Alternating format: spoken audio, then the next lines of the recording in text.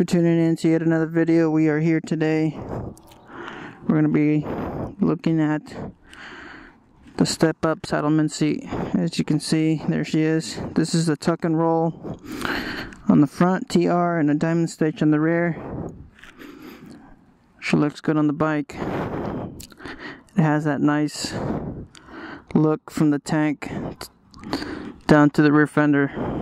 I like the way it looks and I definitely like the way she feels. So, this step up seat, it holds you very firmly in place, especially uh, with all the torque the M8 produces. You need it. Because, let me tell you right now, from the stock Low Rider single single seat, it doesn't uh, it, doesn't hold you in place. You, well, for me, I, I, I tended to kind of slide back.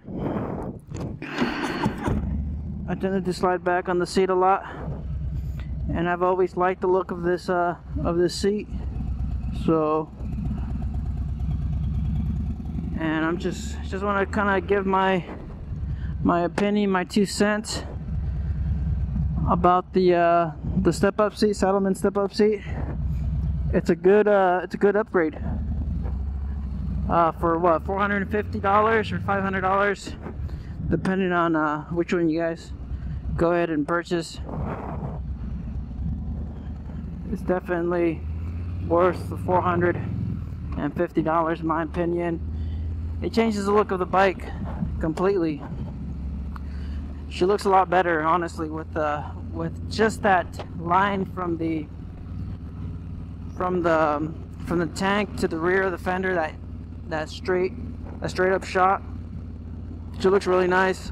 And it's really good for your lower back too. I've, you know I'm, uh, I'm kind of known with with some lower back issues. I tend to get back spasms and and I also I don't know just I have my back stiffens up like crazy just walking for a really long time. So I've always kind of had back issues. And having this the lower back the step up where it kind of holds your, your your your butt in place it feels really good. And and as I mentioned earlier it holds you in place firmly. You don't you don't slide back when you rev the engine. It, you're you're in place you don't go anywhere. So it's uh, there's there's a lot of benefits to switching over to a step up seat uh, I'm not sure how how it how it feels for for a passenger.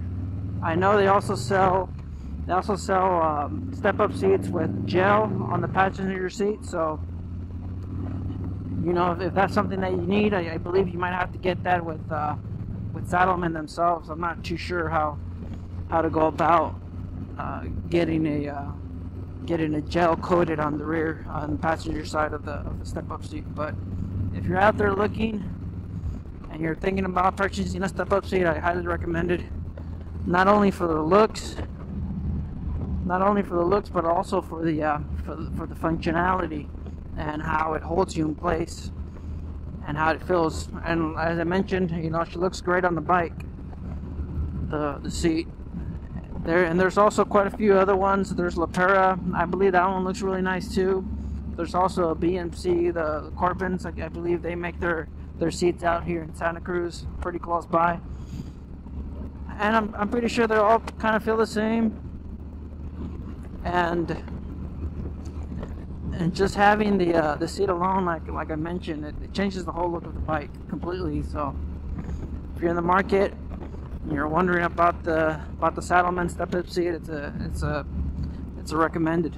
It's a it's a strong recommendation by me. And she looks good. She feels good. So I mean, what else can I say about it? You know, the leather on the on the on the uh, on the seat, it looks great. It, it looks like uh, like real good quality. The stitching's really good too.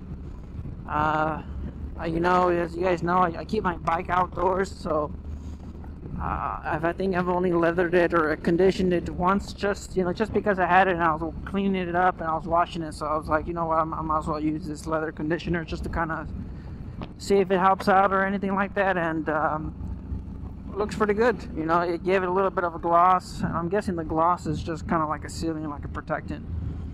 So, and what else is there to say about the seat? Here's the seat on the bike. As you can see, she looks pretty good.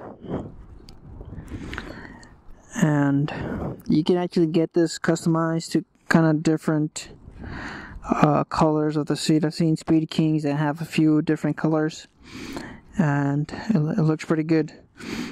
And you can see that line that I was talking about too. It starts from the tank, and then it shoots up. I kind of like. I've always liked that style, and that kind of line, and then it kind of just flows back into the seat.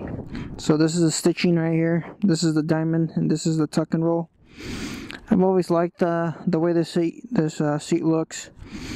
Um, the stitching's really high quality. Haven't had any issues with the uh, with the seat at all. I've had it for a thousand miles now, and the breaking in. I'm not. I don't think it's broken in completely still. So, and as I mentioned earlier too, there's no. Uh, it doesn't move you up or doesn't uh, move you around too much from the stock seat. So, if you're wondering about that, you know, if you're five six, five five, and you're wondering, are you still going to be able to reach the the ground? Yes, you are. So, you, you know, see, it's super comfortable. It holds you in place. This uh, step up uh, form right here, this holds you in place, especially for uh, the Milwaukee M8 that that you see right here. This engine's uh, super torque. I mean, super torquey. It has a lot of torque.